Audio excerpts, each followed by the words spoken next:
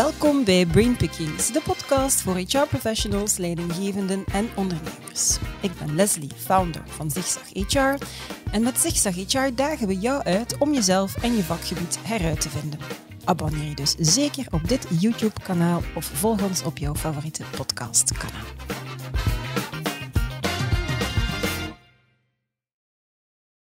Meer dan ooit moet HR zigzaggen tussen operationele en strategische activiteiten. We moeten de vele wettelijke verplichtingen verzoenen met een cultuur van vertrouwen en autonomie, knopen doorhakken met de focus op vandaag, maar tegelijkertijd duurzame waarde creëren voor alle stakeholders van de organisatie, met het oog op morgen en overmorgen.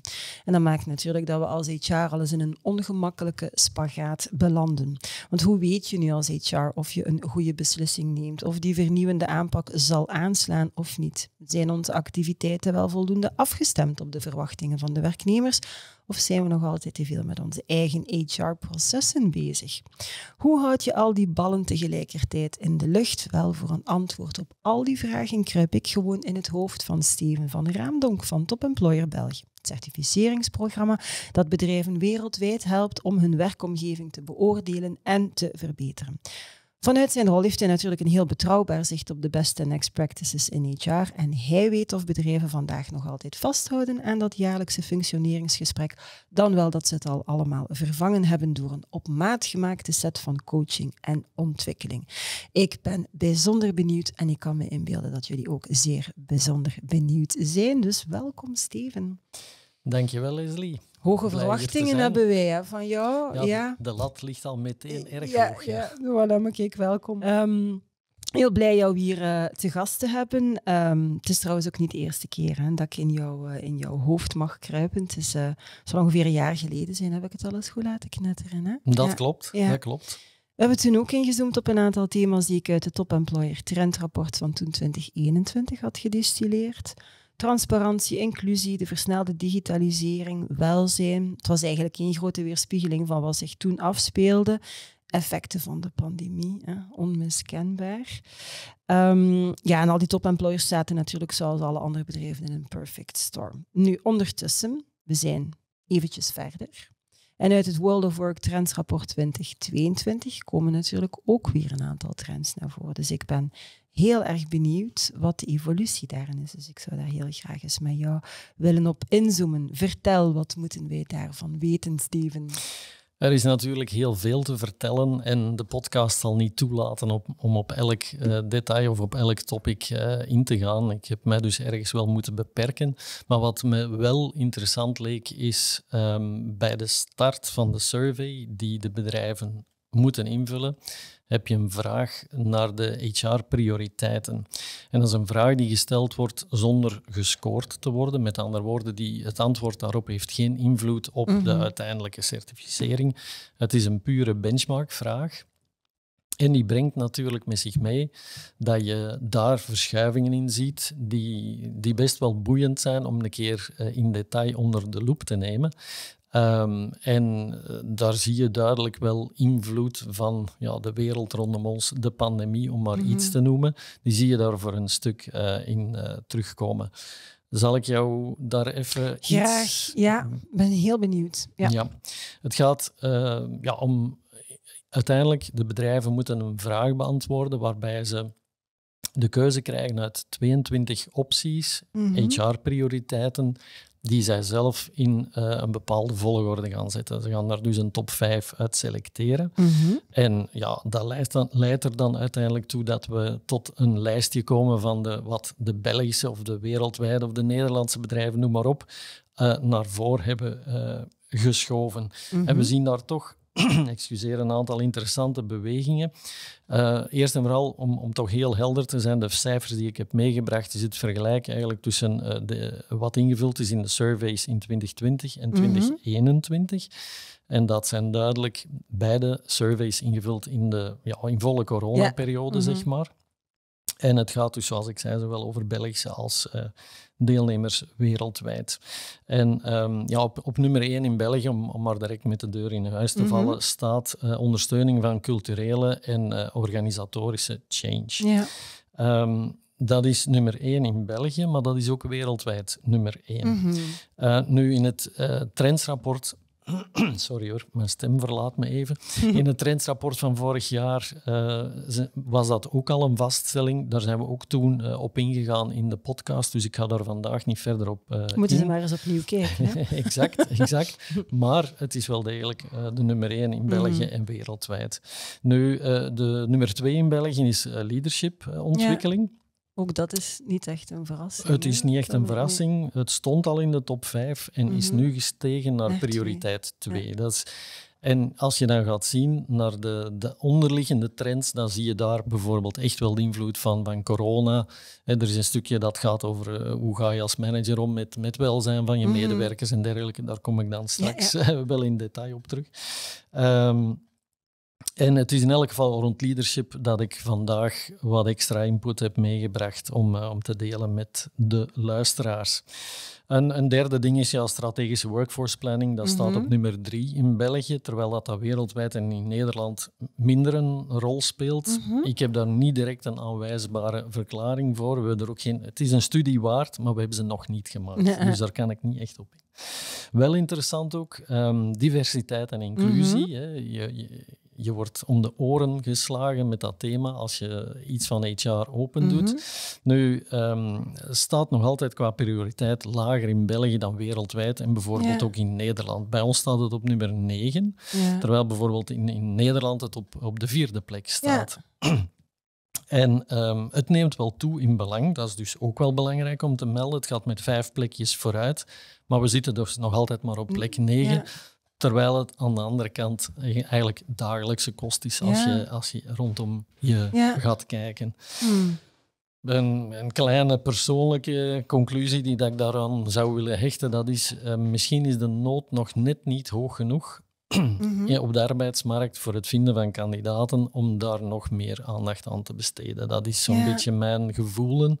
Ja. Um, er wordt veel over gepraat, maar zolang je nog relatief eenvoudig, zij het dan misschien wel langer, je kandidaten kunt vinden, ga je ja, die diversiteit mm, ja, misschien wel belangrijk vinden, maar nog niet als een ja, topprioriteit dat is zien. jammer inderdaad. Ja. Ja, ja nu, ik, ik zie het in elk geval nog wel verder evolueren in, in gunstige zin, laat me het Mhm. zo stellen. Een gedeelde derde plaats dan voor België eh, gaat nog wel zijn. eh, en dat is toch ook wel... Het is niet verrassend, het is met liefst tien plaatsen gestegen.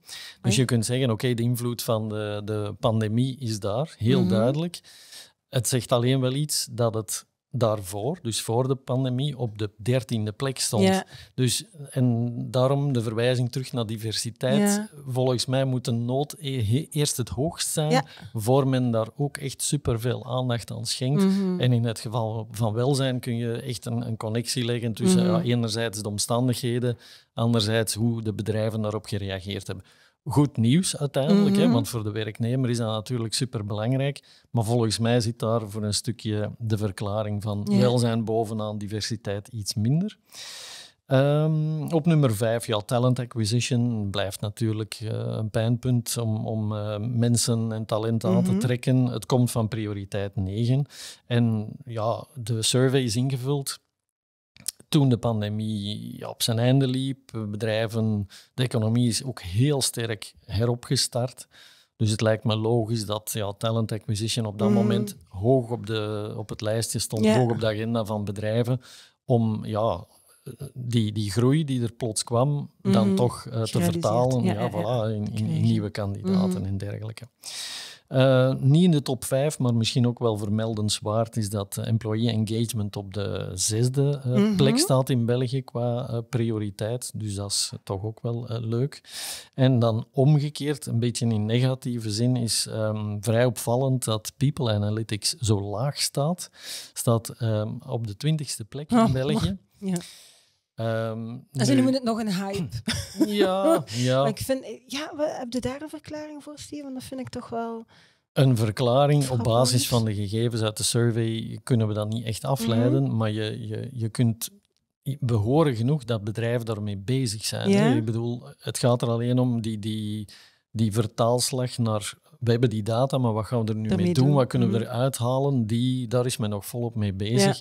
En ik denk eens dat die professionaliseringsgolf is ingezet en, en, en echt gerealiseerd, dan zal dat wel uh, hoger op het lijstje komen.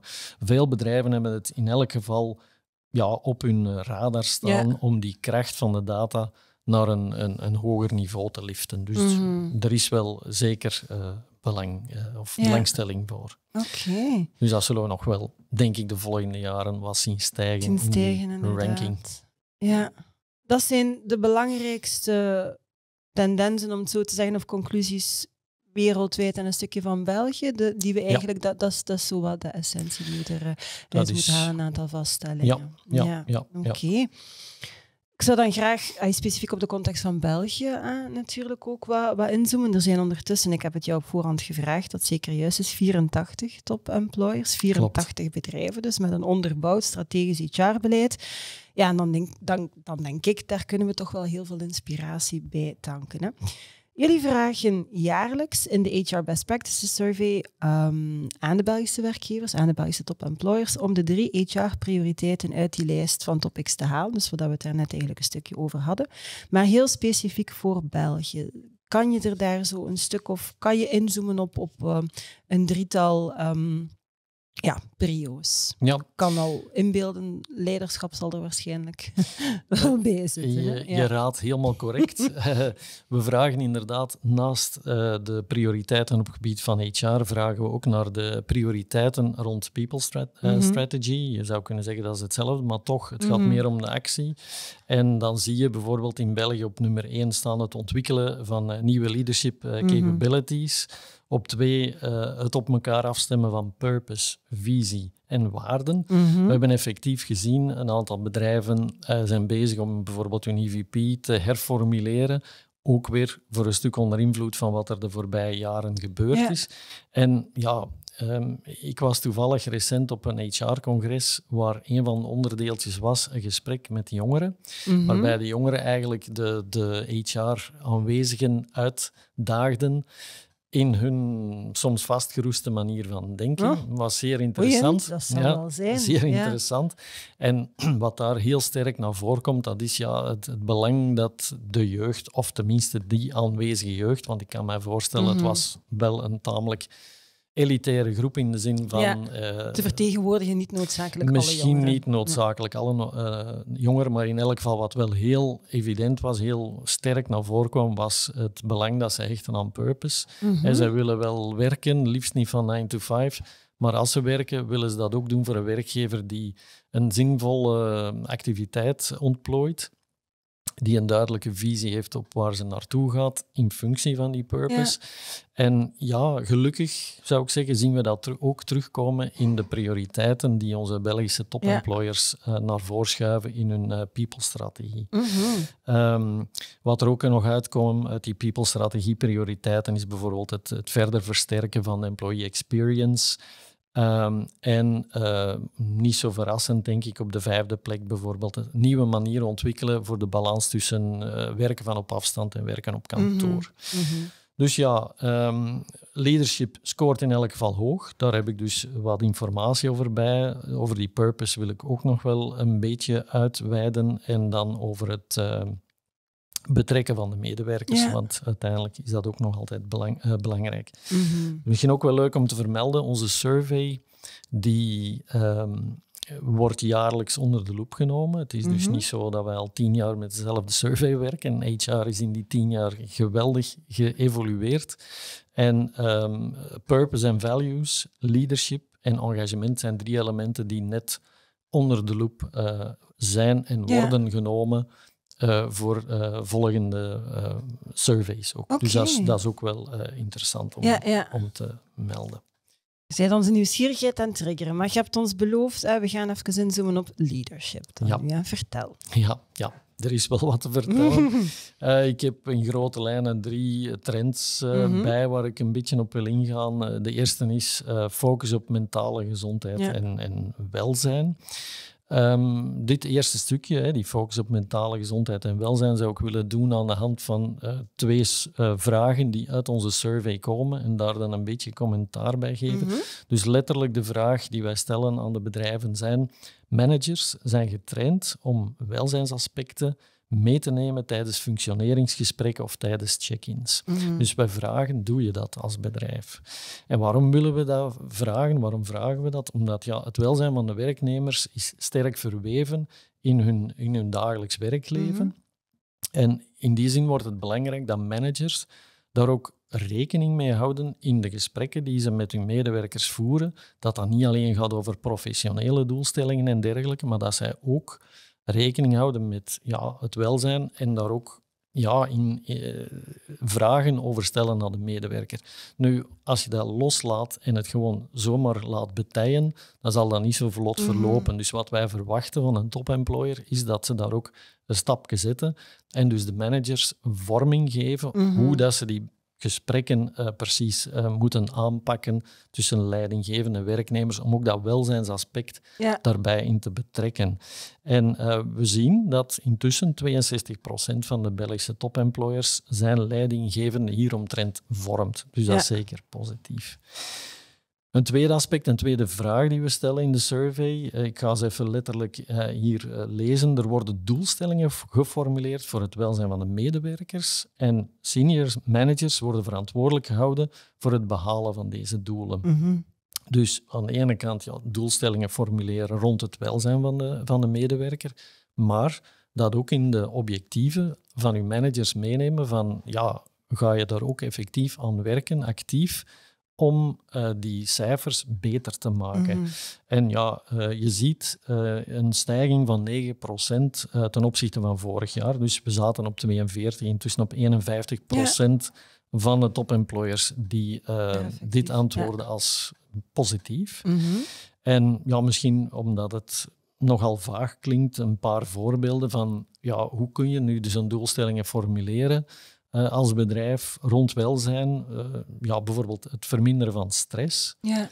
Um, het ziekteverzuim naar beneden krijgen, een heel evidente natuurlijk. En ook um, de resultaten van bepaalde puls-enquêtes, uh, daar een KPI, ja, ja, Voilà, en daar bepaalde KPI's op plakken. Mm -hmm.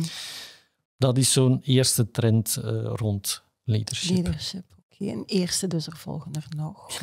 je, je, hebt het helemaal juist, Leslie. Ik volg, hè, Steven, ik volg. Ja, ja absoluut. En, en een tweede die, uh, die we ook wel hebben vastgesteld is ja, het ontwikkelen van, van leadership-competenties. Uh, daar, daar zijn ook wel wat dingen over te vertellen. Um, ja, eerst en vooral de manier waarop leiderschapsprogramma's vorm krijgen, zitten maar men stapt niet terug over naar klassieke, mm klassikale vorming van leaders. Het gaat meer en meer richting blended learning. Mhm.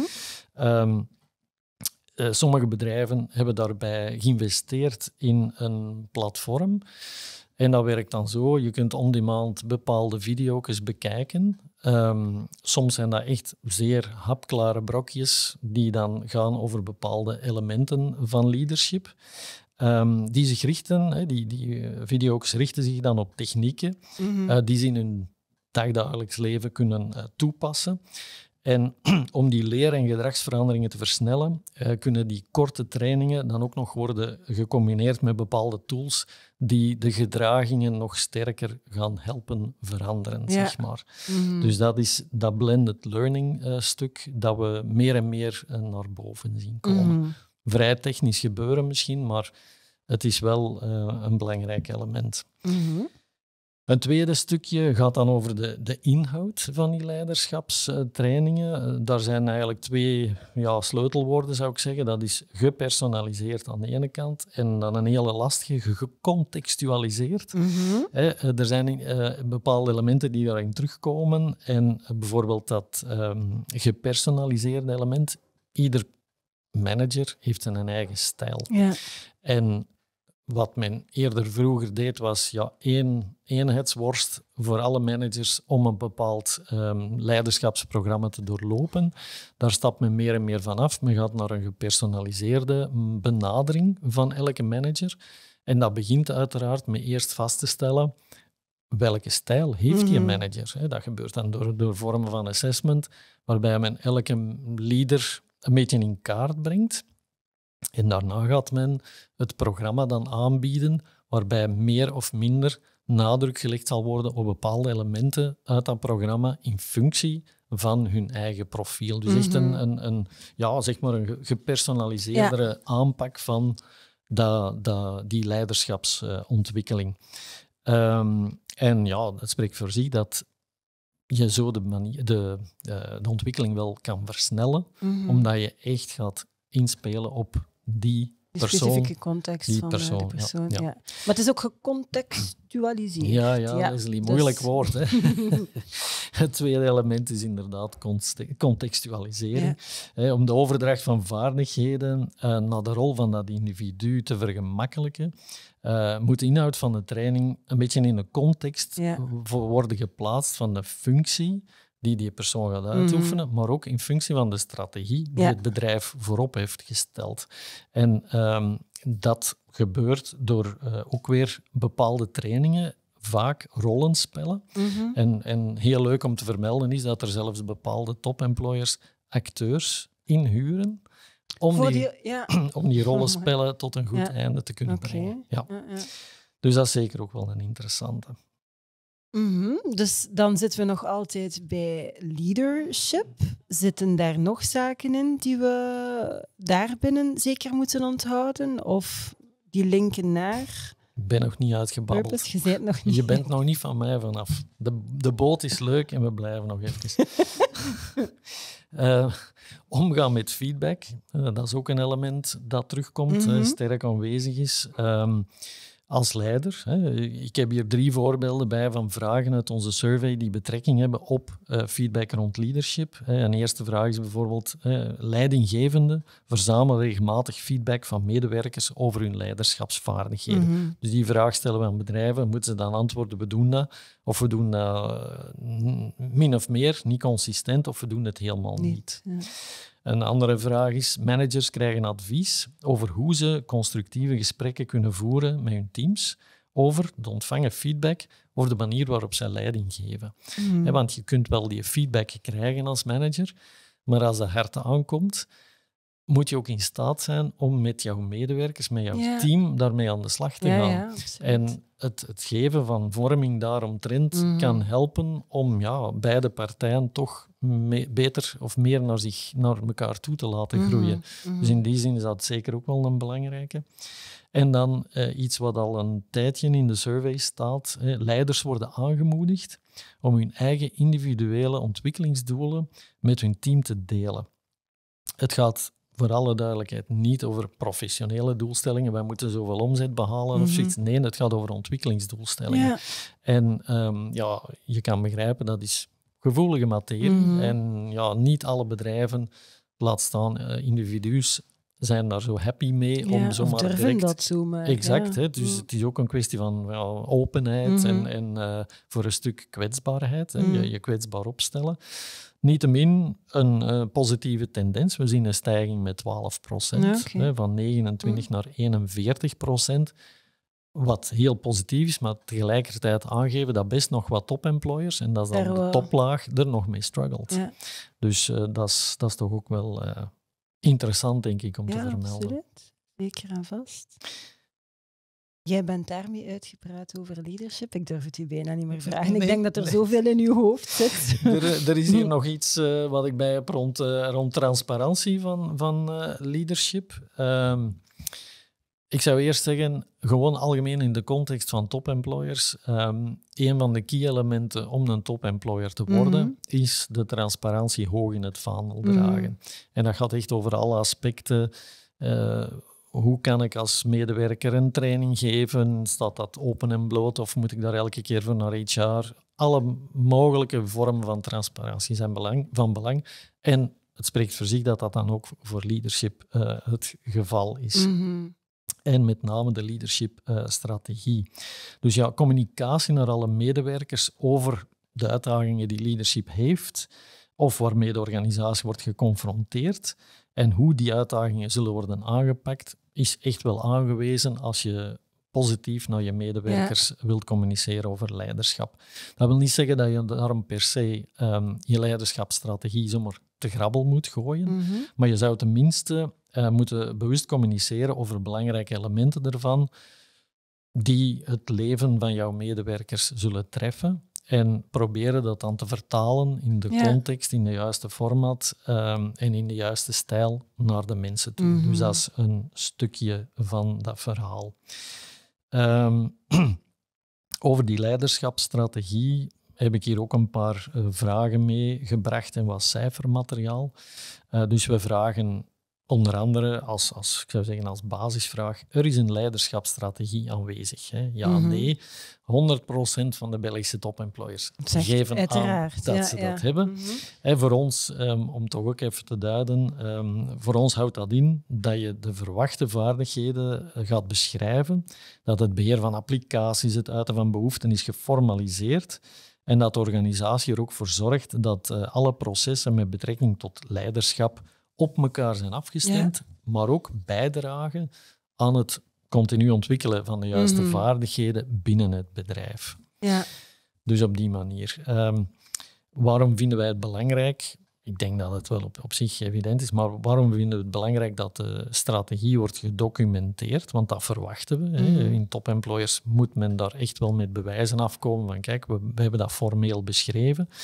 Waarom de, de- dat formeel aspect? Eh, omdat het doel van een leiderschapsstrategie zou moeten zijn om modellen en programma's voor leiderschapsontwikkeling te koppelen aan de bedrijfsstrategie. Ja. Want dat zal ervoor zorgen ehm, dat je bedrijf over de juiste leiderschapsvaardigheden beschikt nu, maar ook eh, in de toekomst.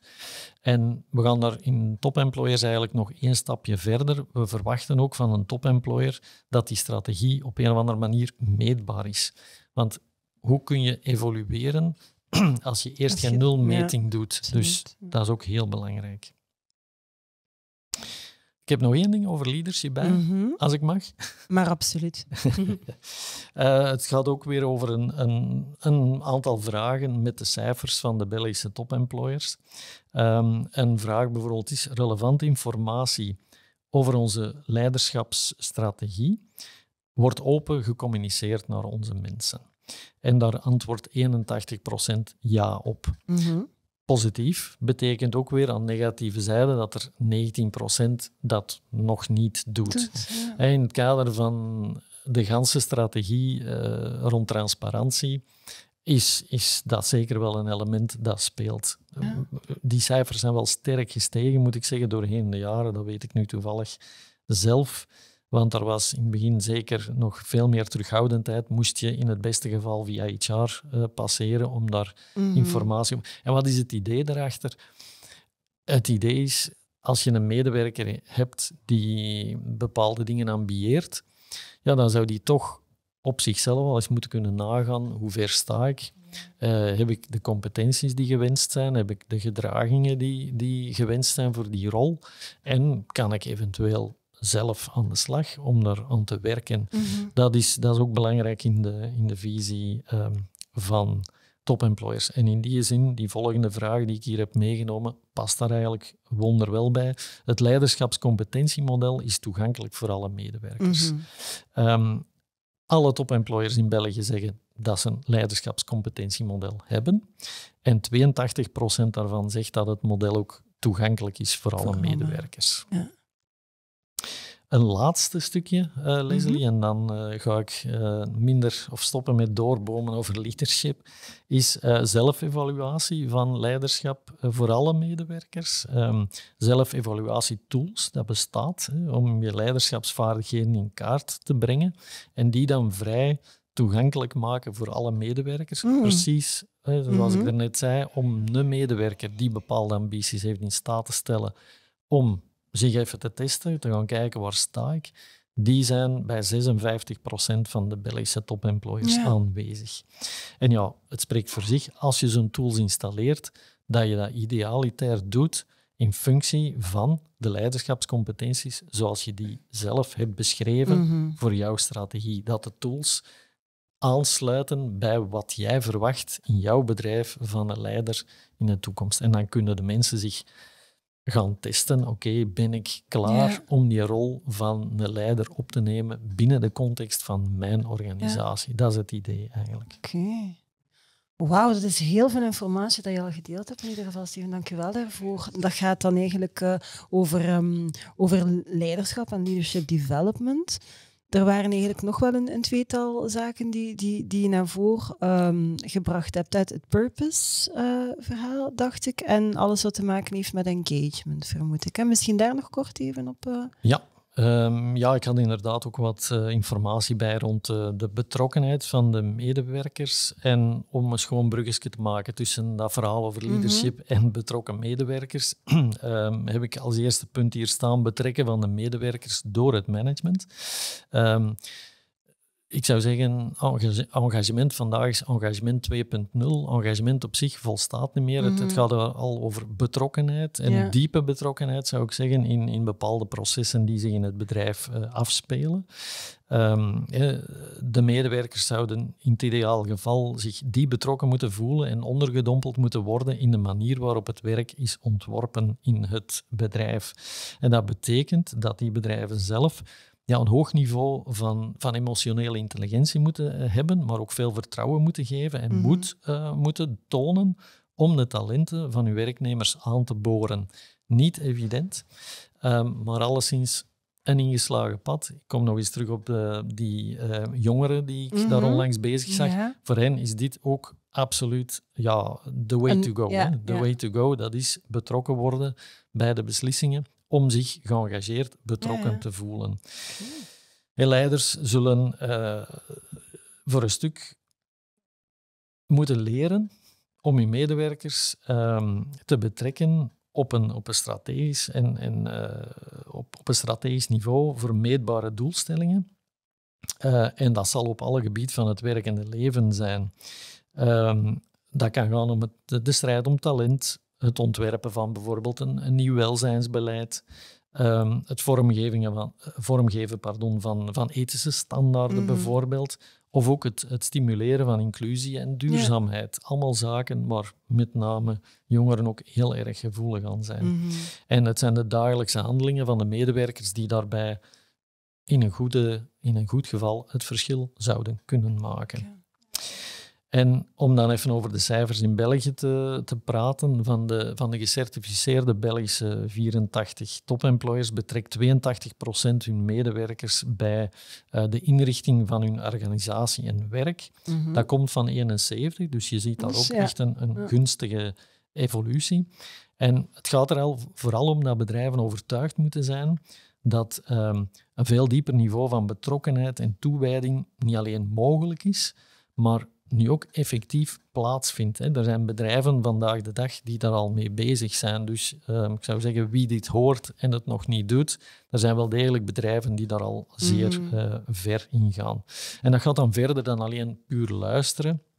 Het gaat echt om medewerkers te betrekken bij acties en initiatieven door feedback te vragen, door input te verzamelen en uh, in sommige gevallen door gewoon hen actief te laten deelnemen ja door brainstorming sessies, uh, weet ik veel, alle vormen van, van input zijn daarbij meer dan uh, wenselijk.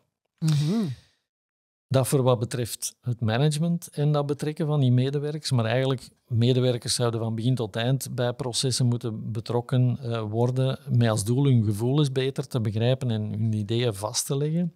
Um, en ik zou zeggen, de, de kracht zit erin om dat niet zomaar een beetje opief te doen, mm zoals we zeggen, niet ad hoc, maar er ook een zekere strategie achter steken. Van hoe betrek ik mijn medewerkers in bepaalde processen in een flow naar ergens naartoe. Mm En om dat te kunnen doen, moet je er natuurlijk ook wel een keer vooraf grondig uh, over uh, nadenken. En het nadenken is ook een rol voor HR. HR moet daarin echt zijn rol als strategische partner mhm. perfect opnemen. Um, een beter begrip van employee experience staat daarbij echt in het centrum. Daar gaat mijn stem weer even. Um, waarom is dat allemaal belangrijk? Want dat is toch ook wel uh, om, interessant om dat even te duiden. Uiteraard is het belangrijk om de, het engagement en de betrokkenheid van uw medewerkers mee te hebben, al was het maar om hun retentie te verhogen. Maar toonaangevende bedrijven activeren hier ook voor een stuk de, de collectieve intelligentie eigenlijk van de Mhm. ganse populatie van het bedrijf om tot bepaalde realisaties te, te komen. Ze stimuleren hun medewerkers om met hun kennis, hun expertise echt bij te dragen om toegevoegde waarde voor het bedrijf te creëren. En dat hoeft niet per se binnen de context van hun rol te zijn, dat, mag, dat kan Maar breder. Ja. ja. want we denken nog te veel in, in termen van dat is die NFT-functie en daar is Ja. hij toe beperkt, maar hij of zij kan ook nog veel andere talenten hebben die hij niet direct in zijn dagdagelijkse job kwijt kan. Maar op die manier komen die dingen soms wel aan de oppervlakte en kan je echt het beste uit dat talent trekken dat er is. Ja, ja. Dus ja, de, de, de sleutel is om, om op feedback te reageren en met de actieve deelname van medewerkers echt tot oplossingen te Mhm. komen. Ehm, ja, een paar voorbeelden misschien. Hè. Recruitment met eh, talent brand ambassadors. Hè. Ambassadeurs aanstellen die jouw bedrijf gaan helpen op de kaart zetten naar buiten, via sociale media bijvoorbeeld. Ehm, ja, input leveren voor de gedragscode en andere eth- ethische Mhm. domeinen. Hè. Dat zijn toch dingen die het dagelijks leven van de medewerkers ehm, ja, raakt.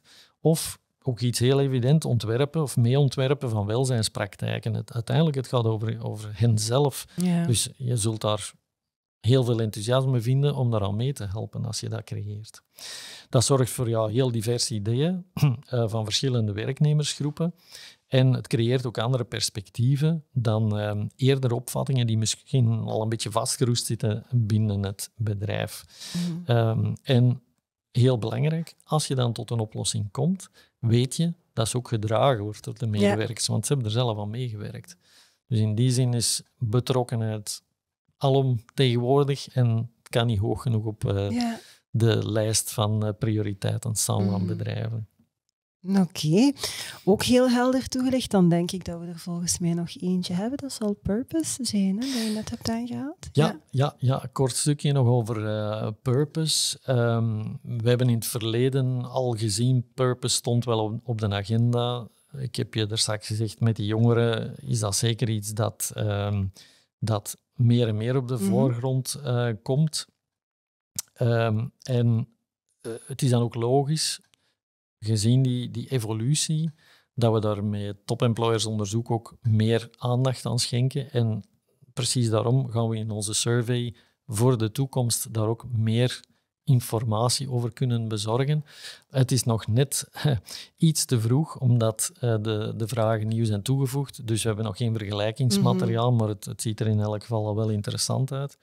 Ehm, de purpose of het hogere doel, hè, want het- je kunt dat woord moeilijk vertalen. hè, Ja, het, is, het is ook een beetje een containerbegrip aan het worden, vrees ik, omdat het net zoveel in de mond genomen wordt. Maar het is, ja, het is duidelijk alomtegenwoordig. Hè. We, we willen niet meer gewoon gaan werken om, om te gaan werken. En we willen een verschil maken, impact hebben. Dus Klopt. ja. Klopt. Ja, in elk geval, de purpose zou eigenlijk ja, de kern van het bedrijf moeten Ja. zijn, waar dat alles rond, rond eh, beslist wordt en Waar vormgegeven alles aan wordt. vasthangt, Ja, waar ja. alles aan vasthangt. En eh, als je op die manier eh, te werk gaat, als je dan een medewerker binnentrekt die goed op de hoogte is Mhm. van de purpose van het bedrijf en je kunt hem dan nog mee betrekken.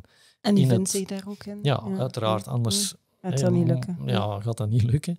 En als je hem dan nog goed kunt betrekken bij het tot stand komen van re- reële dingen die zijn of haar leven raken, ja, dan ben je volgens mij echt Mhm. op de goede weg om die mensen eh, lang aan jou te binden. Ja, ja. Oké. Wauw. Ehm, misschien nog tot slot, Steven. Ehm, we hebben echt heel veel inkijk gekregen, dank u wel ehm, daarvoor. Bedrijven die zich een top-employer mogen noemen, ja, het zou nogal dom zijn om daar niet mee uit te pakken, denk ik dan. Want het is volgens mij zeker een manier om talent te overtuigen om bij hen te komen werken. Uiteindelijk, als je dat label hebt, dan mag je ervan uitgaan dat er een strategisch HR-beleid is. Daar Dat, komt het eigenlijk ja. eh, wel op neer. Is dat dan de grootste waarde van, van zo'n certificering voor een top-employer? Of, of zijn er nog benefits eh, daarnaast? Er zijn verschillende benefits Mhm. natuurlijk. Ehm, het, ehm, de eerste reden waarom bedrijven naar ons toestappen is omdat ze het, graag het keurmerk behalen, Ja. omdat ze zich graag position, of willen positioneren als een employer of choice. Mhm. En ze willen er een beetje uitspringen, hè, Mhm. het, het hoofd boven het maaiveld Ja. steken, hè, want eh, ze gaan met veel concurrenten in, eh, aan- Mhm. aan de slag hè, om, om talenten binnen te hengelen. Dus employer branding is de eerste reden, maar gaandeweg ontdekt men vooral ook het, het belang van die benchmark. Mhm. Ehm, het zichzelf aftoetsen, hè, die Ja. nul, nulmeting in het eerste jaar en de vervolmaking, het laten zich inspireren door de survey om bepaalde aspecten van HR beter te organiseren, Mhm. anders te organiseren, hun prioriteiten misschien wat anders te leggen. Dat is ja, zeker ook Mhm. een heel belangrijke toegevoegde waarde. En er is zeker ook een derde, die zowel lokaal als, als ehm, internationaal speelt. Dat is, ja, je hebt eh, beschikking over een, een, een heel mooi netwerk ja. van bedrijven waar dat je vrij makkelijk toegang toe hebt en waarmee je in gesprek kunt gaan om je successen, maar ook je challenges te delen. Mhm. Eh, en, en dus ook geïnspireerd te worden door hen om, om het in de toekomst beter te doen. En Ja. dat is zeker ook iets dat ehm, in, met name in België ook ge- druk gebruikt wordt. ja, een beetje een community eigenlijk. Ook, ja, dat ja, zo kun je, ja, ja, Het, is, het is een Ze beetje kunnen een- leren van elkaar. en- en Absoluut. Ja. in een veilige context kunnen uitwisselen. Jullie bevragen geen medewerkers, hè? Wa- waarom niet? Dat is een, een, een bepaalde keuze die we gemaakt hebben qua methodologie. Wij positioneren ons als een certificering. Nu, als je spreekt over certificering, dan denk je direct aan ISO en dergelijke. Mhm. En dan denk je aan hele droge processen en dergelijke, wetenschappelijk. Dus ja, wij proberen ook wel HR als zo wetenschappelijk mogelijk te benaderen. Het, het werkt natuurlijk niet 100%, want HR gaat nog altijd over mensen. Niettemin proberen het zo wetenschappelijk mogelijk Mhm. te doen. En dat wil zeggen objectief. En ehm, als je de medewerkers gaat bevragen, is er een zeker risico dat er subjectiviteit Mhm. in de zaak insluipt. En dus een certificering baseren op de mening van de medewerkers vonden wij niet zo'n goed idee. Mhm. Wat we wel heel belangrijk vinden, dat is dat de mening van de medewerker, ik heb het er net uitgebreid Ja, over ja. gehad, dus de mening van de medewerker is natuurlijk absoluut Mhm. key om tot een goed bedrijf te komen. En het is dan ook onderdeel van onze survey. Er is een blokje engagement waarin gevraagd wordt, doe je een engagement survey, doe je pulse surveys, Mhm. betrek je de medewerkers enzovoort enzovoort. Dus het is belangrijk dat je dat doet als bedrijf, want het wordt mee afgetoetst Ja. in ons onderzoek. Maar de mening op zich van de medewerkers, die nemen wij niet mee, Mhm. omwille van de net uitgelegde reden Ja. van ehm, objectiviteit Ja. versus eh, Zou te subjectief zijn en inderdaad, iedereen begrijpt wel iets anders onder een context, dus dan, dan kan het al... al... Ik geef altijd een, een, eh, een beetje een, een, een voorbeeld. Stel, er wordt een vakbondsafgevaardigde Mhm. ontslagen bij een bedrijf en je zou de tevredenheid de week ervoor en de week erna meten, dan ja, krijg je al verschil. gans verschillende resultaten en, eh, krijgen. En als je daarop een certificering moet baseren, dat leek ons niet zo'n goed Mhm. idee. Vandaar. Ja, valabel argument inderdaad. Tot slot een heel praktische nog, de, de, ja, het verloop van zo'n procedure. Hoe lang duurt dat dan concreet en wie wordt dan bevraagd? Zo? Ehm, ja, eerst en vooral, wie vult de survey in? Mhm. Het is HR. Ja. Dat kan zijn één persoon, maar meestal zijn, team is, zijn, ja, ja. teams waarbij elk zijn specialiteit van vragen gaat invullen. Hè. De comp specialist gaat die dingen doen, de learning eh, specialist gaat de vragen rond learning doen.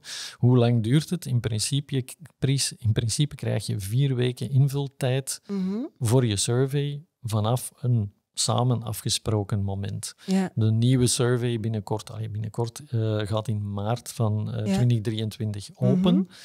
Onze bestaande deelnemers, die nog onder contract liggen, zal ik zeggen, die gaan daarmee dan direct aan de slag. Ja. Nieuwkomers kunnen intekenen tot in de loop van de zomer Mhm. en gaan op het moment dat ze starten met de survey dus vier weken invultijd krijgen om eh, het verhaal tot het invullen van de survey En ze slagen daarin binnen die vier weken. Dat lukt meestal wel, de enkele Mhm. uitzondering niet te nagesproken. En ehm, stap 2 in het proces is uiteraard, we gaan hen niet blind geloven op wat zij zeggen. Het Kom wordt ook geverifieerd aan de hand van een audit. Hè. Bij Ja. ons heet dat de validatie, waarbij je eh, wordt gechallenged over, omtrent je antwoorden en, en dus moet eh, jezelf gaan verdedigen, als ik het zo mag zeggen, Mhm. om aan te tonen dat je effectief doet wat dat je zegt dat je doet Ja, ja. Oké. op die manier. En daarbij worden dus dingen goedgekeurd, afgekeurd.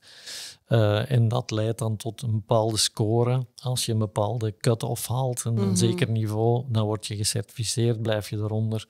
Ehm, word je helaas niet gecertificeerd, maar krijg je wel inzicht in jouw resultaten. En het is een uitnodiging om ja, progressie uh, Absoluut. ja. Doen, ja. Eigenlijk, eigenlijk is, is top employers, het ziet er aan de buitenkant uit als het leuk behalen van een keurmerkje, maar eigenlijk... Het is verdorie veel werk. For a better world of work, dat is waar dat we het voor doen. Uh, dus het, het, echte doel van top employers is eigenlijk een verbetertraject in je HR, maar eentje dat je zelf in handen neemt. Wij, wij, gaan niet, niks opdringen, wij gaan niet mhm. zeggen je moet dat en je moet dat. Je gaat dat zelf onder ogen krijgen en je gaat zelf mhm. jouw keuzes moeten bepalen van ik ga me daar prioritair mee bezighouden. Yes, no. Dat doe ik niet, want ik vind dat zelf voor ons niet geschikt, omdat het niet past bij onze cultuur. No problem.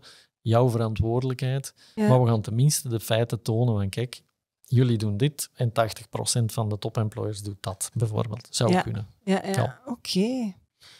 Heel boeiende uitleg hoor, Steven. Ik denk dat het is ons niet gelukt op een half uur. Ik zou moeten op drie kwartier gaan zitten. Maar het is teken dat, je, ja, maar het, is teken dat, dat het nodig was om het inderdaad te duiden. We hebben, uh, ja, ik ben heel blij dat je ons zoveel inkijk hebt gegeven. Uh, het mag ook duidelijk zijn welke topics um, ja, van boven staan op de prioriteitenlijst voor, uh, ja, laat ons zeggen, de werkgevers die er toch een klein beetje beter bovenuit steken dan, uh, dan de rest. Hè. Daar komt het op neer. Merci dat ik in, uh, in jouw hoofd mocht kruipen. Ik hoop dat het niet te veel pijn heeft gedaan. Het valt nog mee, dankjewel. Gelukkig maar. Merci in ieder geval. Dankjewel, Isaac.